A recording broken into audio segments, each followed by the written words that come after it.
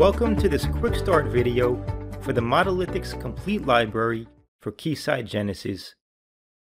In this quick start video, we'll go over several topics. First, we'll explain what is the Modelithics Complete Library. We'll then discuss Modelithics Microwave Global Models, which represent a unique approach to modeling. Next, we'll dive into some example demonstrations to help you become familiar with the models. We'll offer some tips on using them and finally, we'll also discuss the different Modelithics library options. The Modelithics Complete Library is Modelithics' premier product. It's a large collection of simulation models for both passive and active RF microwave components. The complete library consists of various types of models, such as microwave global models for capacitors, inductors, and resistors. We'll discuss these models in more detail shortly. The complete library also includes nonlinear transistor and diode models.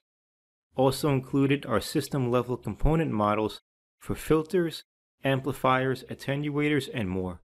The complete library also contains substrate property definition blocks for various substrates. And finally, S-parameter file-based models are also included in the complete library.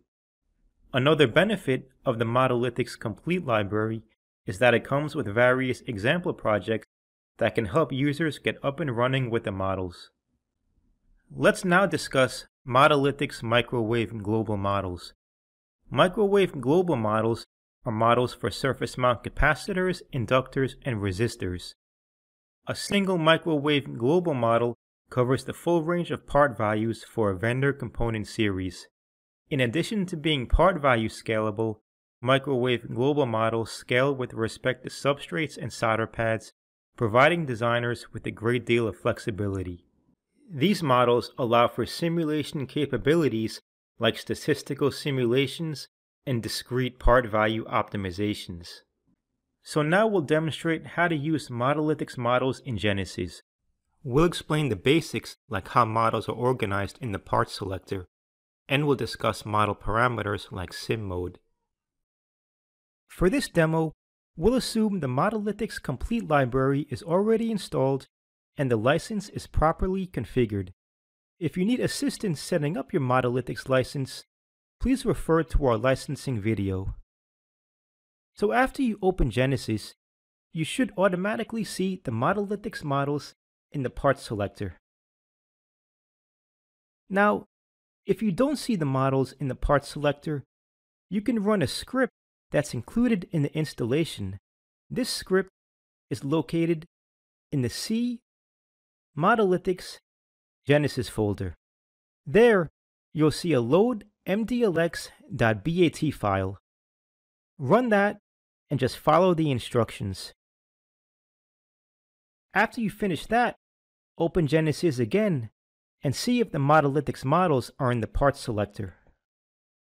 In the Parts selector, you can see the models organized by both vendor and part type. For example, after selecting the Modelithics AVX library, you'll see a collection of models for AVX capacitors, inductors, and more.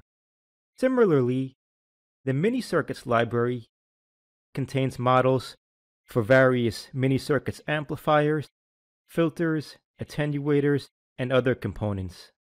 Now if you want to search for models by part type, just click on the component library you're interested in.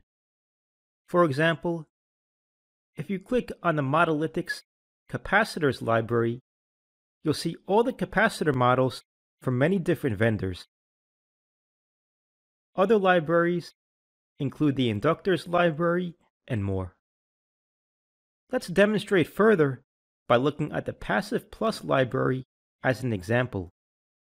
This library contains models for different Passive Plus capacitors and resistors. Let's select the microwave global model for the Passive Plus 0603N capacitor series and place it on our schematic. Again, microwave global models cover the full range of vendor part values for a component series.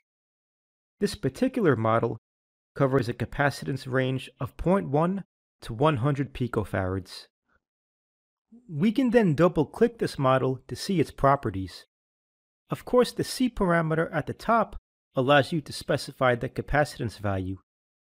Beneath that, you'll see the sim mode parameter, which you should take note of. You'll see three different sim mode settings. When sim mode is set to zero, the model functions as a full parasitic model. With this setting, the model accounts for internal device parasitics, as well as substrate and solder pad effects. This means that solder pads are included within the model. When sim mode is set to 1, the model simply functions as an ideal model. Device parasitics, substrate effects, and solder pad effects are all removed from the model. Sim mode 2 is the no pad stacks mode. Sim mode 2 is similar to Sim mode 0. However, the one difference is that with Sim mode 2, solder pad effects are removed from the model. This allows you to simulate solder pads within an EM simulator. Sim mode 2 does account for device parasitics and substrate effects. Let's now demonstrate a model simulation. Here we have our schematic with the same passive plus model we've been looking at. Let's add 50 ohm input and output ports.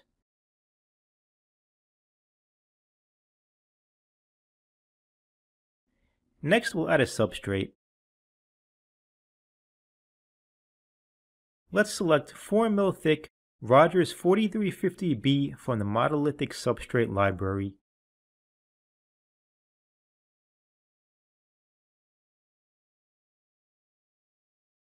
we can go back to the model properties and let's set the value to 5.6 picofarads. We need to be sure to set the substrate to the 4mil 4350B substrate we just specified. Let's add a linear analysis.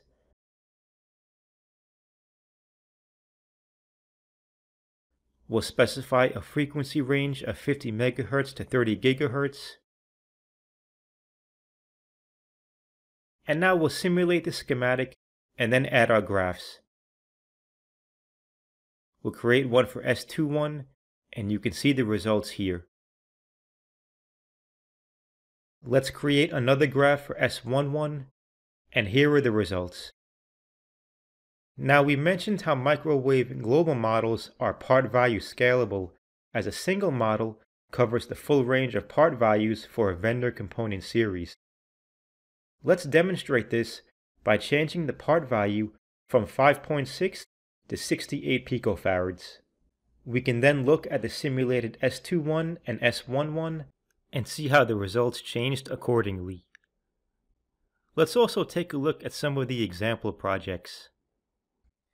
The example projects are located in the C Modelithics Examples for Keysight Genesys folder. Note that the example projects are included with the Modelithics exemplar library, which is a representative subset of the complete library. The exemplar library is a Modelithics standard trial library. Of course, all of the same example projects are also included with the complete library. Let's open the low-pass filter example project. Opening this project reveals a very simple low-pass filter. The objective is to allow users to see the difference in performance when using Modelithics' real-world parasitic models versus ideal component models. You'll see these sliders that are used to toggle the sim mode of the models. Let's first set the sim mode of all models to 1, which is the setting for an ideal model as mentioned earlier. We can see the simulated results here. Now we'll change the sim mode to zero and take a look at the results. You can see the change in performance after setting the models to sim mode 0. Let's also take a look at one of the nonlinear diode example projects. Let's open up the one called Example Harmonic Balance Power Sweep. This project contains this schematic that you see here. It contains a nonlinear model of an Infineon Schottky diode. This project is configured to sweep the input power from minus 20 to plus 10 dBm. You'll see two graphs. One shows the gain of the circuit with respect to the input power level. The other graph is called output power. This graph shows the fundamental and the second harmonic output power levels with respect to the input power. Let's now turn our attention to the model datasheets. Every Modelithics model comes with its own datasheet, which can be accessed by clicking the Reference Info button. Here, you can see a Model Features box, which shows the validated frequency range of the model and other information. Scroll down to find a Technical Notes section, which tells you how measurements were made and more. And scroll further down and you'll find modeled and measured data plots for different part values using different substrates. As mentioned earlier, the Modelithics Complete Library comes with various example projects. In addition to the example projects, you'll see an App Notes folder that contains several application notes. Also located in the C Modelithics folder is the Documentation folder. There you'll find the user manual and the latest release notes. Finally, you can visit the support page on our website where you can review frequently asked questions and more. You can also see a list of all models on the Keysight Genesys page within the MVP section of the website. And don't forget to check out the literature section where you can find application notes, published articles, white papers, and more. Specifically, you may want to take a look at Application Note 76, which focuses on a unique capability within Genesys called Vendor Part Synthesis, or VPS. VPS is intended to help users quickly design circuits using Modelithics models.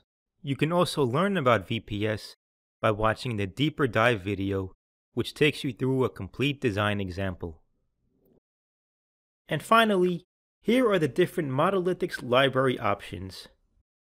First, there's the complete library, which we already discussed. This consists of Modelithics' full collection of simulation models. The CLR library contains Modelithics' collection of capacitor, inductor, and resistor models. Then there's the millimeter wave and 5G library. Every model in this library is validated to at least 30 GHz. Modelithics also offers single vendor sublibraries. A single vendor sublibrary contains all of the models that Modelithics offers for one specific vendor. We already discussed the exemplar library, which is a representative subset of Modelithics models. This is Modelithics standard trial library. And like we demonstrated earlier, the exemplar library allows you to run any of the example tutorial projects. And finally, the Select Plus library is a free, smaller subset of models that can be downloaded from the Modelithics website. Well, we hope you enjoyed this quick start video. Please let us know if you have any questions or need assistance.